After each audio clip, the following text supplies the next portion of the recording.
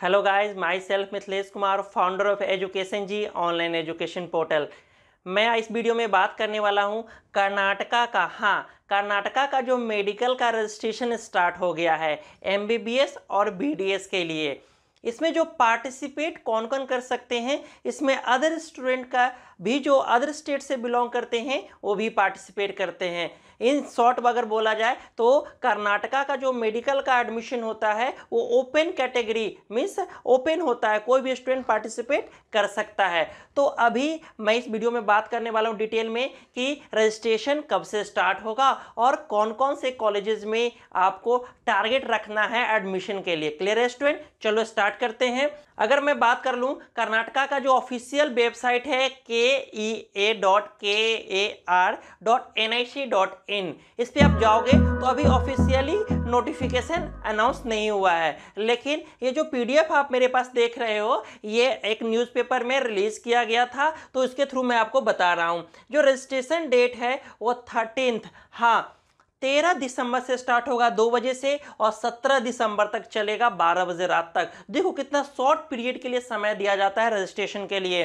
तो वैसे स्टूडेंट जो इस काउंसलिंग में पार्टिसिपेट करना चाहते हैं तो उनको मैंडेटरी है रजिस्ट्रेशन करना। सिर्फ़ एक बार रजिस्ट्रेशन का आपको मौका दिया जाएगा। Second round mop up round किसी राउंड में नहीं नहीं दिया जाएगा कि अगर ज़्यादा वैकेंसी है तब ऑप्शन बन सकता है अदरवाइज़ चांसेस ना का ही रहेगा। इसीलिए मैं कहूँगा कि आप एक रजिस्ट्रेशन करके चलो ताकि ऑप्शन बना रहे एडमिशन के लिए। अब बात करते हैं कि कितने स्कोर होने चाहिए आपको रजिस्ट्रेशन करने के लिए। तो 138 से हाँ जो जनरल का कट ऑफ़ है, उतना होना चाहिए अदर स्टेट के कैंडिडेट को। अगर मान लेते इससे नीचे है, लेकिन वो S C S T OBC में बिलोंग करते हैं, फिर भी वो रजिस्ट्रेशन नहीं कर सकते हैं। इसका मतलब है, अगर आपका स्कोर 138 से ऊपर है तो आप एडमिशन के लिए एलिजिबल है, चाहे वो मैनेजमेंट कोटा से एडमिशन हो एनआरआई कोटा से एडमिशन हो लेकिन आपको एडमिशन मिल जाएगा।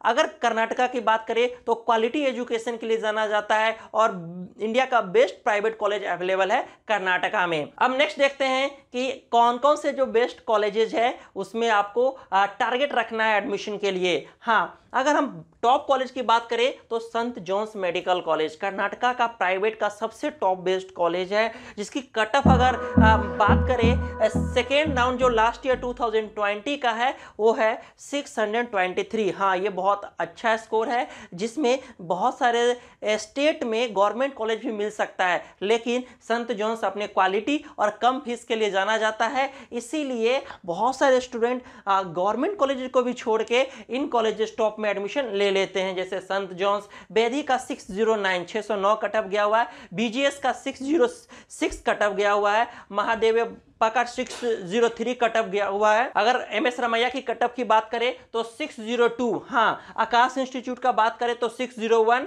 AJ institute medical science का बात करें तो सिक्स ज़ीरो वन ये कटअप रहा है लास्ट ईयर का। इसके थ्रू आप अंदाज लगा सकते हो कि मेरा कौन सा कॉलेज में पॉसिबल है सेकेंड राउंड तक। क्योंकि बहुत सभी स्टूडेंट नहीं चाहते हैं कि मैं वेट करूँ सेकेंड राउंड तक। वो चाहते हैं कि मेरा फ़र्स्ट या last two last second round तक एडमिशन हो जाए। मोपॉप में जाना नहीं चाहते हैं कि पॉप में एक टेंशन बना रहता है कि हो सके मेरा एडमिशन ना हो, तब क्या होगा? हाँ इसीलिए आप ये कटअप देख लो। Subbaiah institute of medical science का कटअप है 600 श्रीनिवासा का 600 ईस्ट पॉइंट का 599 ऑक्सफोर्ड का 599 कैंपा गोरा का 598 सप्तगिरी का 596 and doctor B R Ambedkar का 595 and father Muller institute of medical science का 594 इसका मतलब है सेकेंड राउंड का कट ऑफ़ लगभग में 590 से ऊपर ही रहा है कर्नाटका का। अगर मॉपअप राउंड का देखा जाए तो ज़्यादा डिक्रीमेंट नहीं होता है 10-15 नंबर का डिक्रीमेंट के रूप में रख सकते हो। लेकिन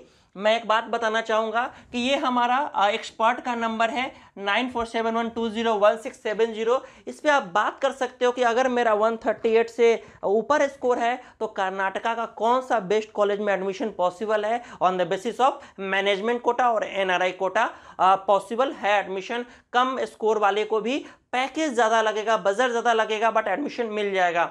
मैं नेक्स्ट वीडियो में बताऊँगा आपको कि रजिस्ट्रेशन कैसे करते हैं, क्योंकि कर्नाटका का रजिस्ट्रेशन थोड़ा लंबा होता है, उसमें स्टूडेंट को बहुत सारा प्रॉब्लम आ जाता है। क्लियर स्टूडेंट चलो मिलते हैं अगले वीडियो में। Bye take care see you again